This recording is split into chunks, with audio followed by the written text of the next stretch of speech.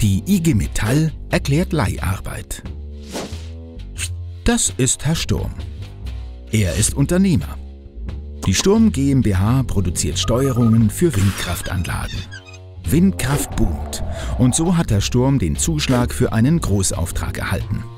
Toll, denkt Herr Sturm. Aber wer soll das alles schaffen? Weil ihm kurzfristig Leute fehlen, stellt Herr Sturm den Elektriker Klaus ein.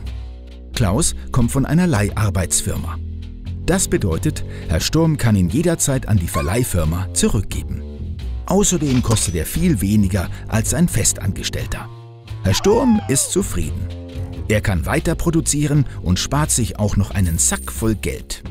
Das merkt vor allem Klaus. Obwohl er in seinem Team genau die gleiche Arbeit leistet wie alle anderen, bekommt er am Monatsende 40% weniger Gehalt. Kann doch nicht wahr sein, denkt Klaus. Doch, und zwar deshalb.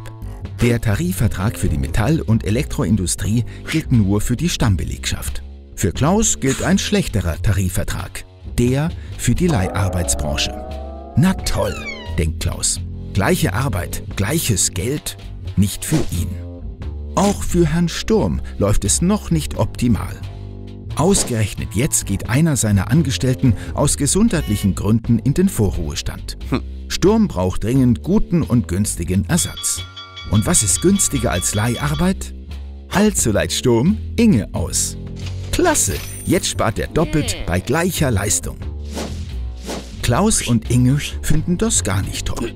40% weniger Lohn ist nämlich noch nicht alles. Weil Herr Sturm sie vielleicht schon bald nicht mehr benötigt, können sie kaum langfristig planen. Eine eigene Familie, ein fester Wohnort und größere Anschaffungen bleiben so Träume.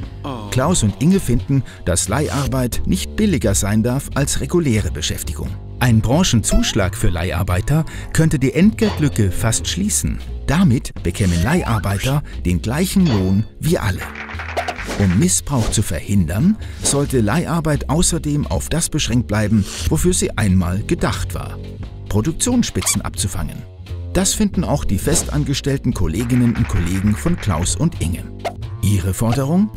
Der Betriebsrat muss ausdrücklich zustimmen, ob, wie lange und wie viele Leiharbeiter eingesetzt werden. Tarifrunde 2012. Leiharbeit fair und gerecht gestalten.